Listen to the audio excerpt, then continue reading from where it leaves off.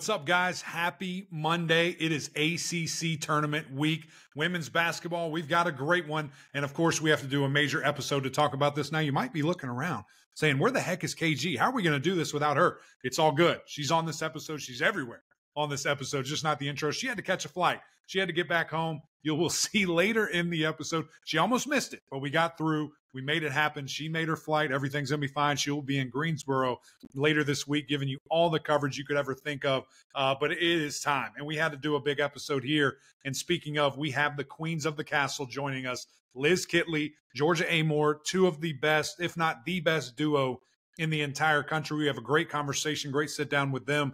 And then the freshman phenom from Notre Dame, Hannah Hidalgo, who is just on fire. Uh, funny enough, these two played each other, and the freshman got the best of the two, you know, seniors there. It was incredible. Great game. I think shades of things to come for this tournament in regards to who knows what to expect. You're going to see great players making plays and making things happen. So we've got all that in store for you. And then at the very end, KG breaks the tournament down. Everything that she thinks is going to happen. She gives you some dark horses. She gives you her pick, who thinks she she thinks is going to win, and then some players to watch if you're new to this and maybe watch us from just a football perspective. She's got it all covered. So Grateful for your time. Jump in with us here quickly. A message from our friends over at Ingles and then we'll get to the interviews. Let's go. Did you know that Ingles sells more organics than any other store? Or that they run their own dairy? Or that they only serve USDA choice and prime meat? Did you know that they have more local craft beer than any place else? Or that they have energy smart stores? Or that they professionally slice and package imported cheese from Europe? Did you know about their giant international aisle, local farm partnerships, curbside pickup, wine department? Or that they donate 3,956 meals a day to local food banks? Well, now you do. It's all in the bag. Ingles, low prices, love the savings. All right, guys, we have the queens. The queens of Cassell are joining us today. Liz Kitley and Georgia Amoore. Hello, queens. Welcome to the pod. Thanks for having us. Absolute pleasure. An absolute pleasure. Yes. Well, Liz has been on before, Georgia. This is your Yeah. your first time. Welcome. I know. Welcome. Hey, that's, that's for everything. I'm not mad. Well, you know, we were just trying to get in touch with your people, and you've you've had some big time interviews lately. You've been on Haley Jones's pod. You know, things like that. Yeah. You're big time. Um, Well, okay. Speaking of big time, guys, I was there on Sunday, college game day in Virginia Tech in Cassell. It was electric. Um, why don't we start with Liz because she's taller? What did you guys think of that? That atmosphere was just unbelievable. Like, what did you guys think? Uh, definitely unbelievable. Um, me and Kayla were kind of talking about it. We felt like we got like inserted into a movie or something. Like it wasn't our actual like experiences. Um, just because I I just never would have had this in my imagination even even last year. Like it never would have occurred to me that this could happen. Um, but it did, and we got to go on set. And you know, I think the most memorable thing is just the roar of the fans and the passion and the signs and the energy.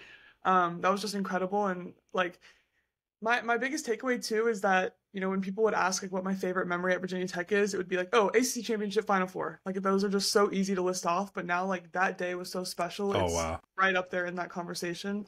Um, like seriously one of the most special days of my life so far. Yeah. I would also add that like the fact that like having game day there was absolutely great, like phenomenal. But the fact that that game was like sold out before people knew that game day was coming, like yeah. it's kind of like really cool to know that we probably would have had that crowd regardless if that crew was there or not. Like they they weren't just showing up because they were going to be on ESPN. Like the passion and stuff that like these people have brought to us like the past couple of years, like even like since last year has just been like incredible. But yeah, for sure highlight of my college career for sure. That's amazing. I, I, I just, you know, you, you never take it for granted, but when you're in that moment, it's just so fun. And, and the, the things that you see, the signs, the people. And again, you guys are so blessed because you have an unbelievable home crowd. And, and it feels like, you know, those fans have been very supportive, very energetic, very exciting. But, George, I'll start with you here in regards to just taking the game to another level, especially in this era that we are where people are watching and people are paying attention. Is that cool for y'all? Like, do, do you feel some type of weight or burden with that? Or is it just like, dude, I'm balling and these people love to watch? I mean, any pressure is a privilege. Obviously, we we carry huge expectations, but I think the position that you know, especially Liz and I are in, is like we've been through this before. Like Mhm. last year, we've had big games. Yeah. This year, we've had big games, and you know, I think it's fair to say we have pretty high expectations put on us every single night. And I think, you know, Liz especially has carried it with such great like dignity. Like she's just so consistent. Like it like I don't know. The more you think about it, the more you freak out about it. So I don't like to do a whole lot of thinking. I just I like that. I, I can't speak to Liz. I don't know what she thinks about that. But. Well, uh, yeah. How about it, Liz? Because I, again, you know, Georgia spelled it out really well for there. There is a lot of expectation. I mean, there's, you know, you're the go-to. You know, and I think back to that game winner, the the amazing pass, the setup, the fadeaway shot. Um, when it's time to go, you know, we're we're getting you the ball. Uh, what's your mindset in in kind of those moments and big big time moments like game day coming to town? Yeah, I think you know a few years ago it would have freaked me out, but I think especially knowing that this is my last time around, um, if anything, my number one emotion is just like feeling lucky. Like I just feel lucky to be in the position that I am. Um, I feel lucky that I've had, you know, this relationship with Coach Brooks that has made me the player that I am. I feel lucky that I'm playing in a time when women's basketball is, uh, its popularity is increasing at such a rapid rate. Um, I feel lucky to be in Blacksburg where the people are just incredible and loyal and will stick by you no matter, you know, maybe the ref was right on that call, but it doesn't matter. Like they're gonna yell at them if it doesn't go our way. Um, so uh, if anything, I just feel super super grateful and um, you know if if if I'm the best option at the time for the team or whatever whatever the team needs uh, in that moment, then you know it's it's just a good opportunity. I love y'all's gratitude, but you've also earned it, so keep keep that in mind. Um, when you look at you guys right now, it, it, feels like you're peaking, similar to last year. It's an eerily similar situation um, with the Duke game and then going into now. So, w- would you guys agree with that? And what has changed if you look back at Iowa, you look back at LSU? I mean, I know it's getting Ekh and Summiel and all these players involved, but is it fair to say you guys are peaking? Let, let's start with uh, Liz on this one. Um, to be honest, yeah, I think I literally have deja vu from last year. Like, I don't know if I'm supposed to say that or not, but it's like, it is eerily similar. Like, it's so strange. Um, and I think we knew that it was going to happen. Like, I knew the team we were in November wasn't going to be the team we were in February or March. Um, but I mean, you said it. It's just like the the growth of the players and um, the way we've come together. Do I think we're peaking? I mean, we've been like steadily increasing every game, so I like to think that we're not tapering off just quite yet. Um, we have a few more weeks uh, to still continue to build chemistry, which is kind of crazy to think about. Um, but you know, if, if we continue to to shoot the ball well and be connected on defense, that's when we're just like a really, really, really hard team to beat. I don't think we're doing anything like extraordinary. I think everyone really has just settled into their roles and they're excelling at yeah. them. And, like we're such an unselfish group that it's like, you know, Matilda knows that without her hitting shots, we can't be great. I know that without me setting everyone up, I, like we can't be great. Like everyone knows that their roles are so important. Mm-hmm. and I don't think like it's not like anyone. Well, I was gonna say it's not like anyone scoring forty, but Liz might.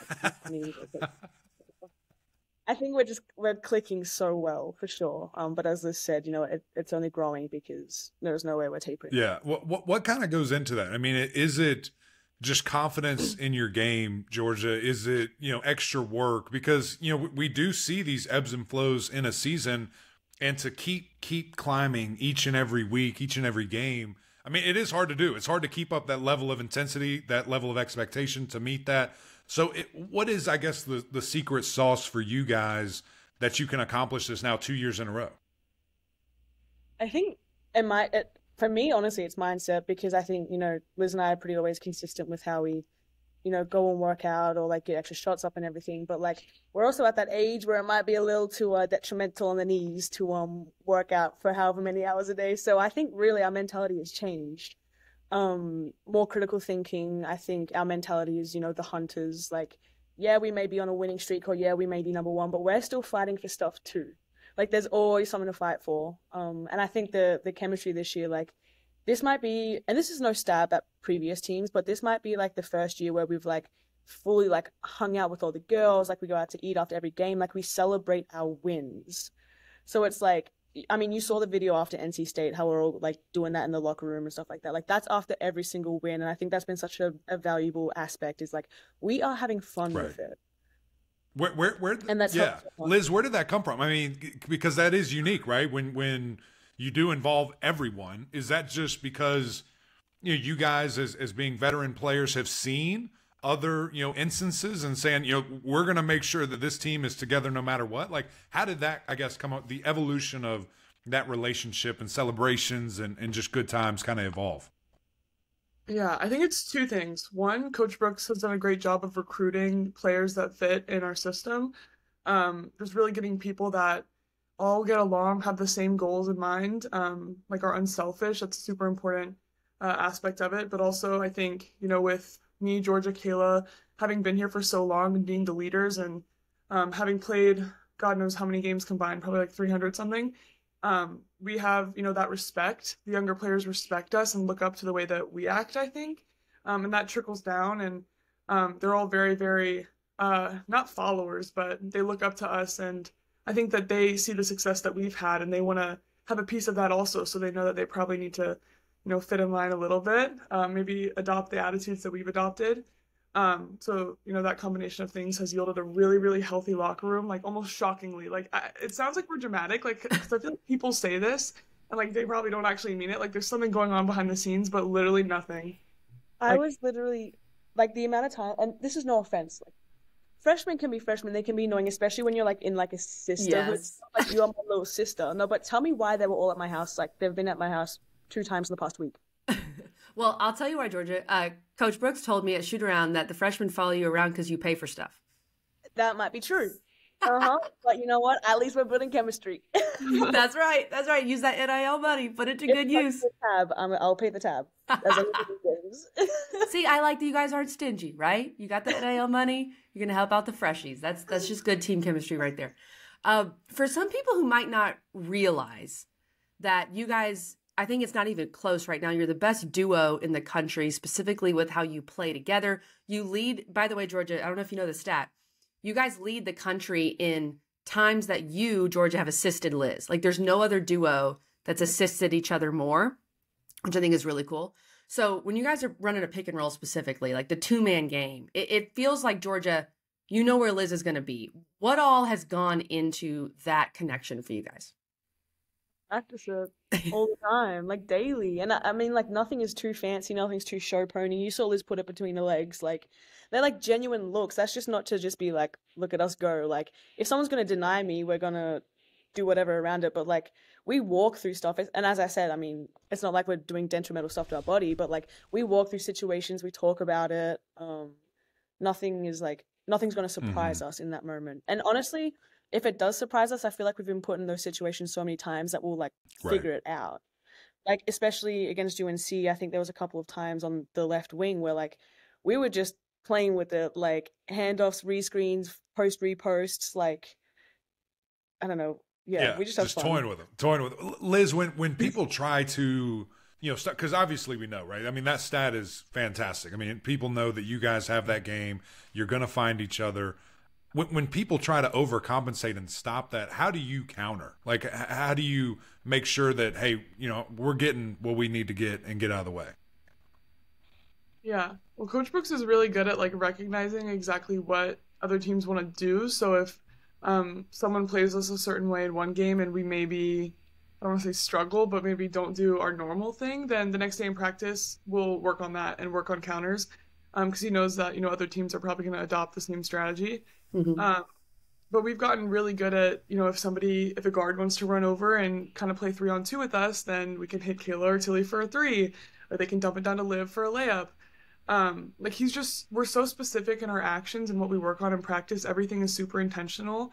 Um, and I think that's why, you know, Coach Brooks is as incredible of a coach as he is. And that's why we've been able to have the success and why I think it's been harder to stop uh, that action than you might expect. I was gonna say too. I think a lot of people like will not realize that it's the two man game, but there's like so many more levels to it. Mhm. Liz just wants to make every single shot, so we never get to those other levels. I promise you, the whole five on the court are involved. She's open too, though. I mean, that's the like just from a basketball nerd perspective. I'm not sure I've seen in women's college basketball a pick and pop um, situation where a six six center can knock down anything you ask in the pick and pop. Like that's it's impossible to guard because they can't not hedge on Georgia. Like they can't. What are they supposed to do? So it's it's brutal because Liz is an absolute menace shooting the rock. Like we know that. Come on, Liz. Hey, you know That's it's funny. I remember preseason us talking about that, and Liz, you were so excited about the fadeaway, about the three, and you delivered. You, you've delivered all season. It's been awesome. Well, the three we're still No, waiting. I've a seen them. bit, I've seen the pictures. I've seen the pictures. Exposed. Exposed. Hashtag exposed. Um, okay, well, speaking of that, I Georgia, you cannot answer here. I want only Liz to answer because I want her to talk about this, and I know she's going to try to be too humble. Liz, at, at, while we're recording this, you still have some games left before Greensboro. While this comes out, you may have already done this, but how are you going to feel when you become the second all-time leading scorer in the ACC? I have no idea what you're talking about. You are uh, going into going into UNC. You were 44 points away from passing Alana Beard, so I think you're probably 10 points away now, or 11, 11 from passing Beard to become the second all-time leading scorer in the ACC. That's nice. I don't know. That's it. Not That's thinking it? about it. Not thinking copy- about it. I keep comprehend things like that. Like I think in in ten years, like Yeah. I might look back and be like, "Oh, good for you! Like you really did something." but like right now, I'm just I don't know. It doesn't really like I just want to win on against Notre Dame. I want to get the regular season Yeah. championship. Like Sure. that that makes my eyes light up. That makes my heart race. Like that That's gets me pumped. Um, the other stuff I think I'll brag about to my kids or something. But like until then, it's I on like the back that. burner. Georgia, do you have any thoughts on it? Legend. Re- retire. Yeah, there it is. Retire. Hanging in the rafters. Hanging in the rafters. Thank you, Liz, for attempting to answer because I know it makes you very uncomfortable. Go ahead. Mac. I love that though. I mean, I mean, it's such a, a team. People need need to to know. know. Like, Hey, people that's your need to job. realize Shout the it numbers the this rooftops, woman is KG. putting up. Let them know. Let them know. But you know, I, I think it's a great mentality to have, and I think that's why you know you guys are so successful. I mean, you just see the relationship. You know how you guys have have bounced off each other in this, and you know it, seems like every other question we ask, you go back to Coach Brooks and you know just how he gets you in mm-hmm. situations, the relationship that you have. I would love to hear from from your perspective, Georgia, on him not only as a coach but as a man and how he has you know fostered this team and you know ultimately gotten you guys in this situation. Yeah. I think just at the end of the day, he's super caring and unselfish in all aspects of life. And that kind of like, you can see that. I think he says it on like interviews and stuff like that. And it's so true. We can go up there and just chat about anything. Like, I think this man knows a little too much about my life. And I'm okay with that because it helps like, the, the communication on like the court and stuff like that. Like, I'm not scared that whatever I say or whatever whatever idea I have is going to be knocked back in like a, a negative way or like he's never going to put me down. Like he's going to listen to me. And if I'm talking strange things, then he's probably going to process and be like, "Hey, like probably not the best idea. Let's go this way." Like he's he just like wants the best. If you if you're going to meet him halfway, like that that relationship is going to flourish. I think a lot of people are like different people can be too scared of like getting too close or like opening up too much or like they might be too fearful of saying their actual goals and what they want out Mm. of their time here. But like if you do that, like he's gonna take you and turn you into something great. Like I'm sure Liz and I like we we we make it so obvious that we want to be the best we can be. We want to take this program to new levels. We want to win.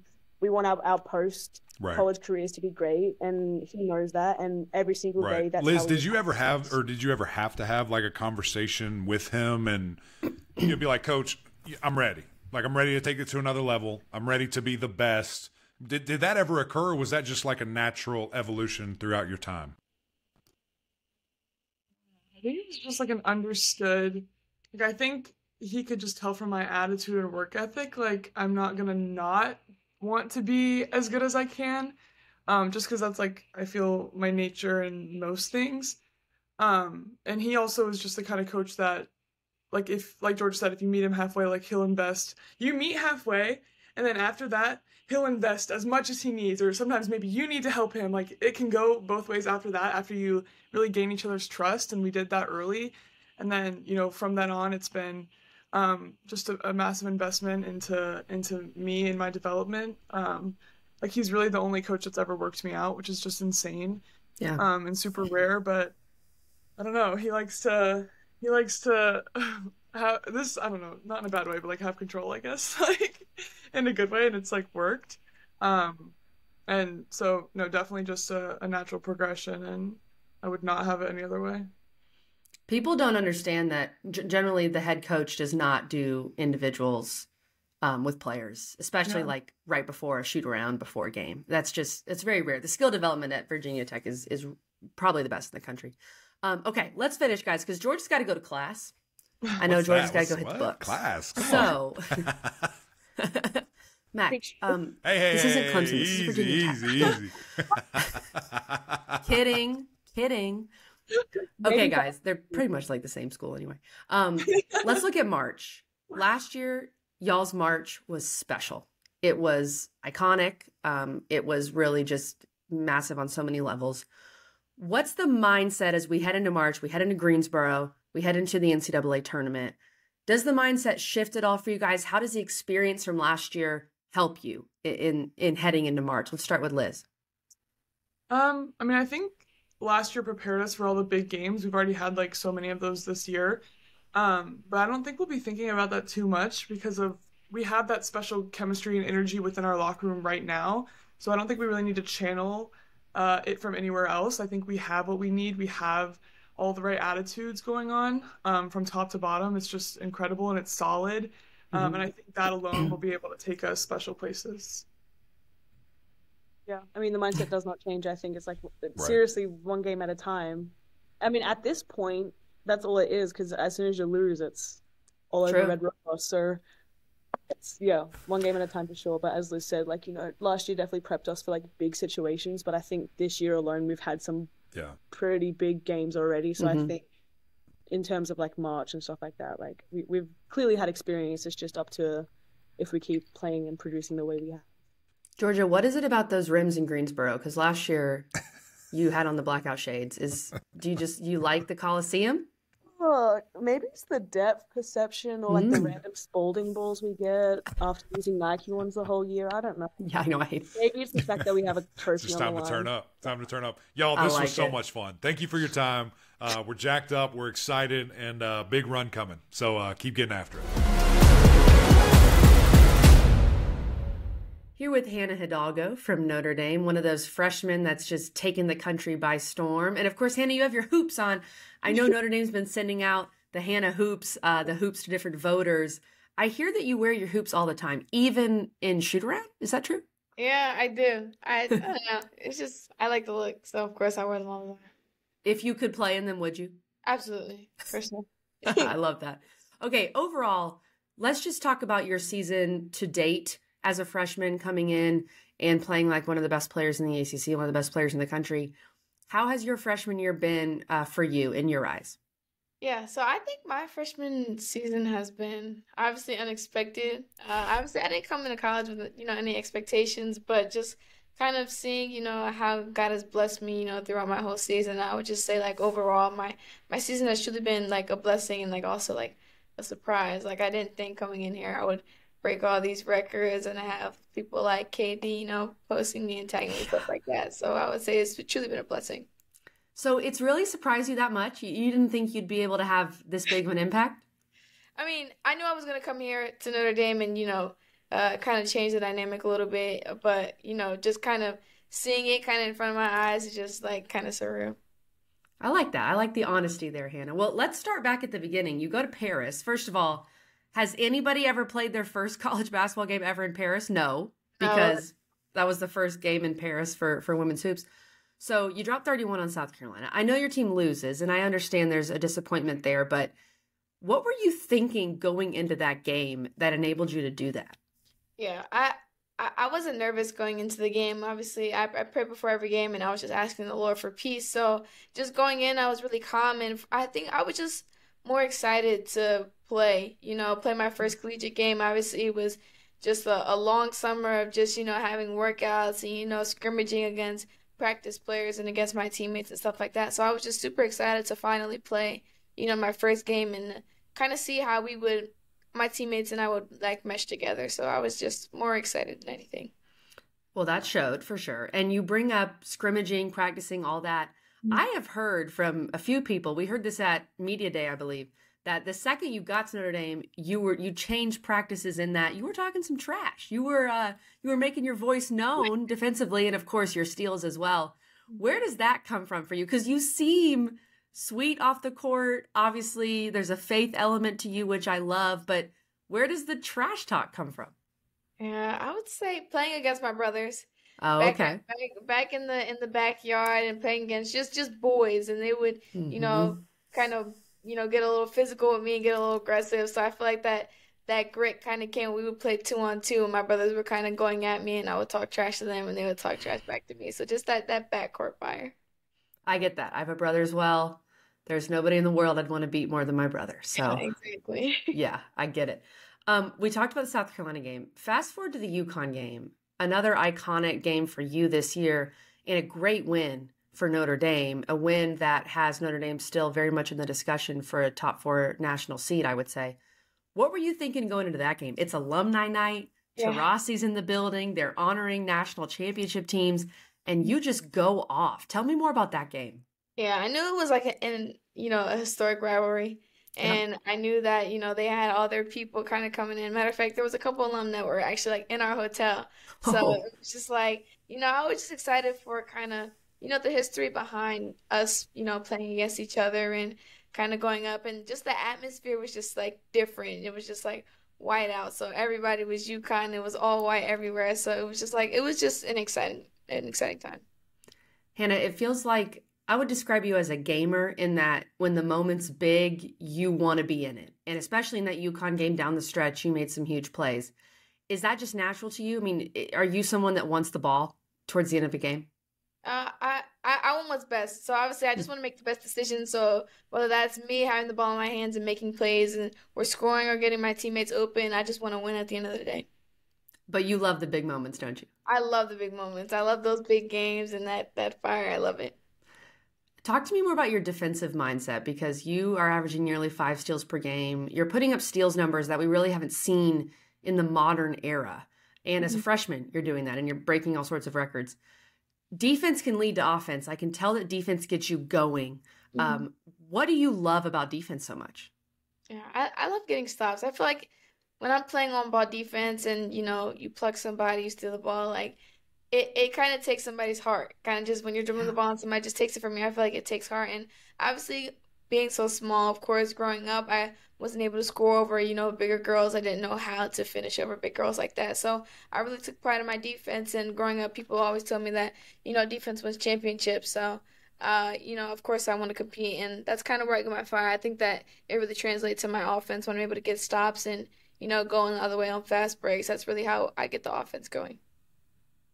You've had some great defensive games this year. There's no doubt about it. If there's someone that you've played so far in college that you've thought, okay, th- this may be my toughest cover that I've had so far this year, who would it be?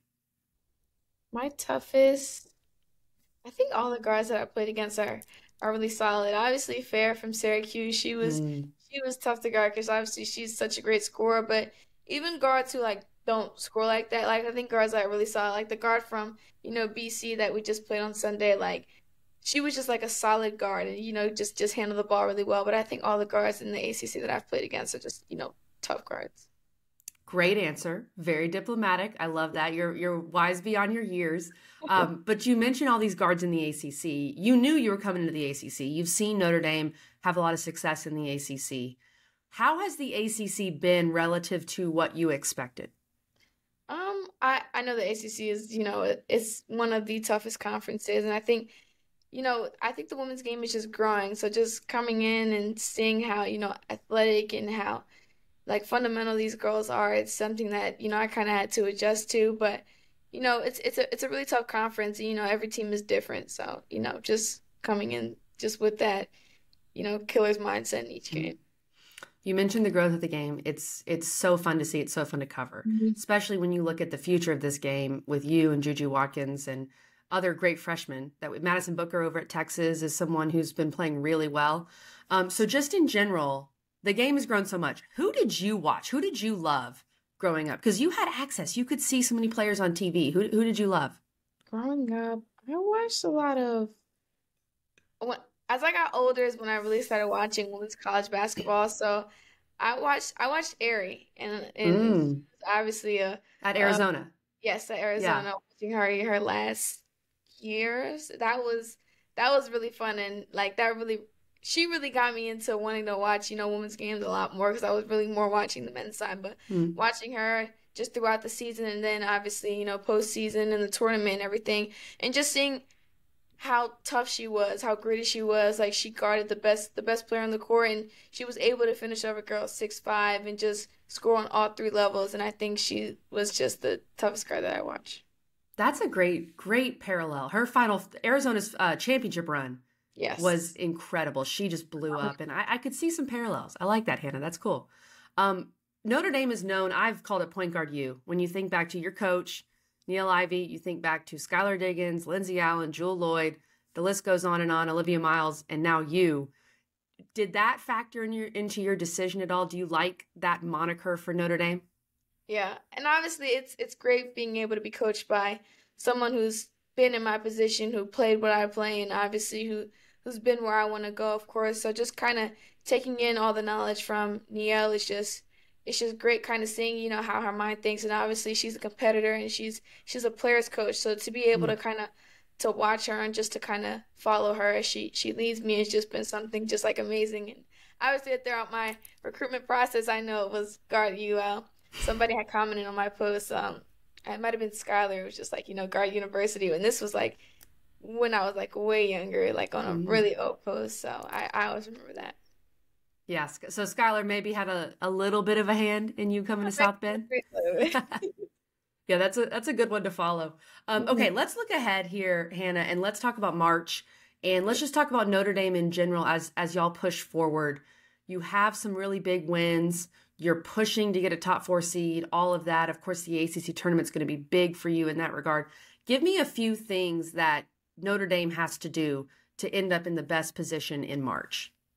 Yeah, I think we just have to play together. I think we have to trust each other and obviously I think we need to we need to have a great start um, for every game and play every game like it's our last game in order to make it far. Obviously we have the talent and you know we have the girls to do so and we just need to you know kind of stick together and I think it's it's really going to start on defense for us. Mm. I think we play really well when we're able to get stops and push the ball in transition and you know, just kind of pressure and make make it uncomfortable. So it's really going to start on defense for us.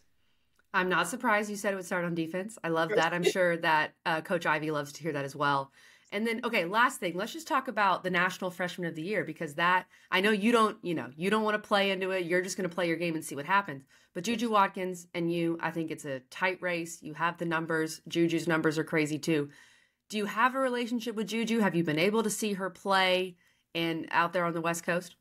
Of course. Um, I played with Juju at USA, and I obviously played against her at you know McDonald's American and and things like that. And obviously, this freshman class is just a phenomenal class, and just to kind of see all the girls that I've played against and you know played with, just kind of see them do their thing is obviously phenomenal. Obviously, seeing like Madison Booker and you mm-hmm. know Mikaylah Williams, and kind of seeing all these girls just you know just just do what I watched them do in in high school, and them being able to come into the collegiate level and still be able to, you know, play their game. And obviously, Juju, she's a phenomenal player. Just the way she's able to use her height and just just score the ball. Obviously, this class is just like something different. And obviously, I talked about you know the rise of the you know, women's game, and I feel like you know we're that next generation to kind of you know increase the women's game, and you know we're bringing in a lot of viewers and stuff like that. So it's it's a blessing to be a part of this generation, of course. But this women's game is different.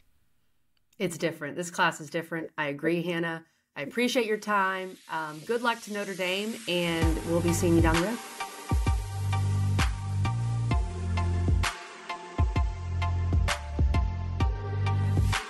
All right, guys, it's time to talk about this ACC women's basketball tournament. We had Georgia Amoore and Liz Kitley on the pod. We had Hannah Hidalgo, three of the best players in the entire country on our podcast, getting ready to play in this ACC tournament it's going to be fun. It's going to be electric. I know that the reserve seats are already sold out. College game day is coming to the title game.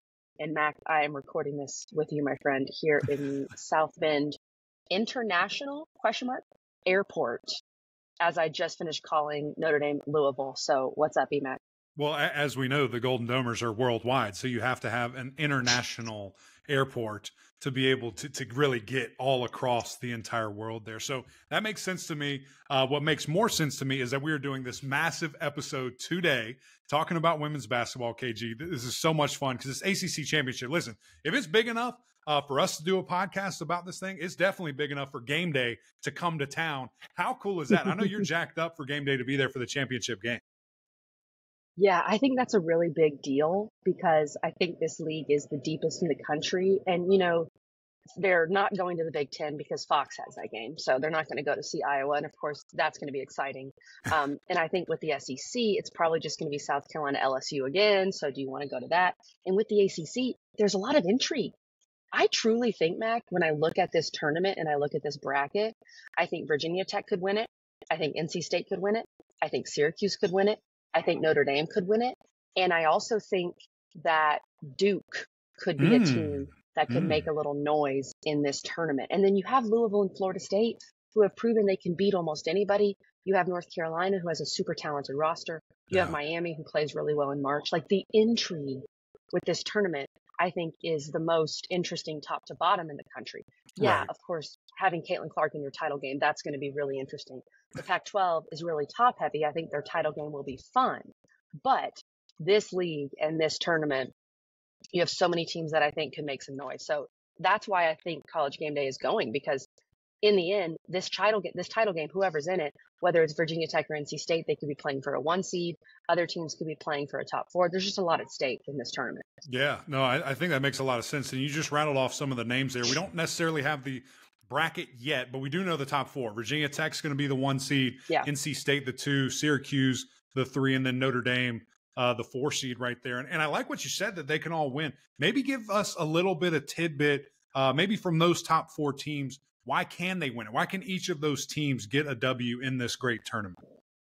Right. Well, Virginia Tech, we know what they can do with their duo, the best duo in the country with Liz Kitley and Amoore, and they just won it last year, so they're the defending champs. They know what it takes.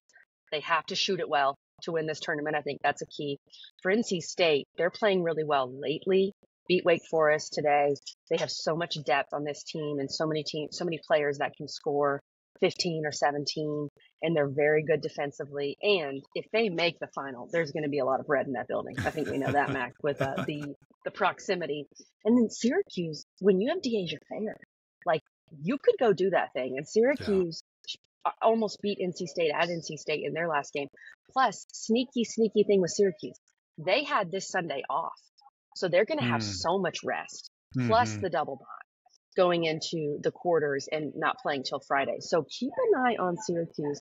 And I really like how they rebound and they have good depth. And then the other team that I'm really interested to see in this tournament is Notre Dame. Notre Dame is hot. They are peaking at the right time. Their big three is playing really well in Hidalgo, Citron, and Maddy Westbeld. Watson was in double figures against Louisville. And I said on the broadcast of Notre Dame Louisville, I think Hannah Hidalgo should be National Freshman of the Year. I had hmm. Southern Cal fans coming at me about Juju. Juju's incredible. I think ideally, I would love to see them split the award and have co National Freshman of the Year. But Mac, here's the thing with Hannah Hidalgo. There is one freshman ever that has averaged over 20 points per game, five rebounds per game, and mm. five assists per game. Do you know her name? I don't. Caitlin Clark. She's the only freshman to ever of do course. that. And now Hannah Hidalgo is doing that. So wow. I think Hannah Hidalgo, with how she's played, puts them in a different level as well. So truly, Mac, and this has not been the case in recent years. I think all four of those top four can win this ACC tournament. Dang. That's amazing. And that, I mean, wild. that's the intrigue. And that's what is, you know, we've kind of been preaching all year, you for sure on different platforms about how deep this conference is and, and, just the excitement that you really do not know each and every game, you know, who's going to pull it out and, and the way, you know, that the teams are winning the competition right here, in which I hope, you know, that's reflected in the big tournament, uh, you know, come March and, and we really get a bunch of teams in there and they, you know, make it happen here. Before we go to some stats and some superstars, because you've mentioned them throughout here and kind of your reasons why, I do want to hit, our folks with a dark horse. Now, you, you listen, you, you mm. can't say mm. Louisville, you can't say Duke, you can't say Florida State. You already said they might could win. So that's not a dark horse. You already told us about them. Who outside of that, maybe in the second half of the conference here, do you think, hey, if the stars align, they heat up, who knows what could happen? Well, it's a good question. And it's hard to win this tournament, honestly, to win it without a double bye, because that means you have to win four games in four days versus winning three games in three days. The team that has recently gotten to the title game without a double bye is Miami. And Miami is a team that seems to just play well in March. Katie Meier is a great coach, But Miami did just lose to Georgia Tech today in overtime. I think Miami's still in the tournament, in the NCAA tournament. They need probably to win their first game in this ACC tournament mm. to hmm. be able to get in. As we're recording this, UNC and Duke are very close at the half. And UNC is an interesting team. They have had struggles. They just lost to Boston College, not a good loss. But this roster is so talented. Mm. So I think North Carolina, depending on their draw, could make some noise as well. I would keep an eye on UNC.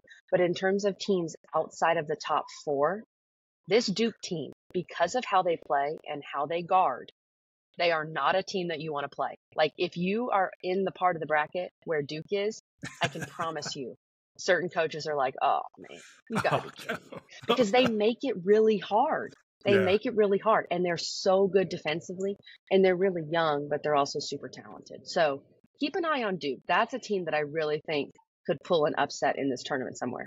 Yeah. Is, is, there anything one more before we move on to the superstars? Because this this was intriguing when you were kind of laying that all out there.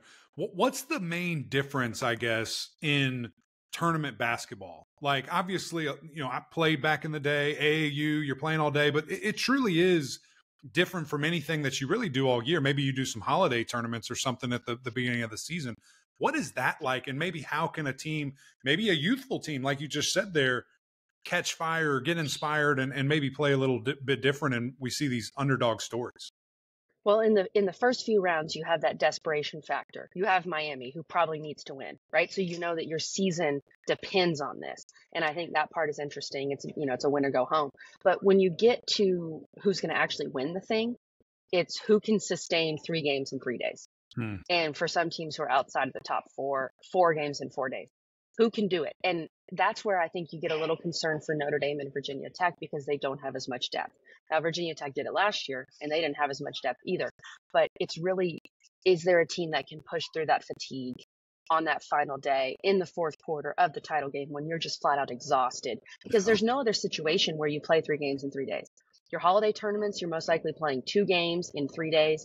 And in the NCAA tournament, you're, you're playing two games in three days and then you have a break. Mm-hmm. So there's no other situation in college basketball where you play three games in three days. So it's about pushing through that, Mac and just which team is healthier, right? Like some teams have some nagging injuries. I think Notre Dame is really healthy at the right time. Virginia Tech is feeling relatively healthy.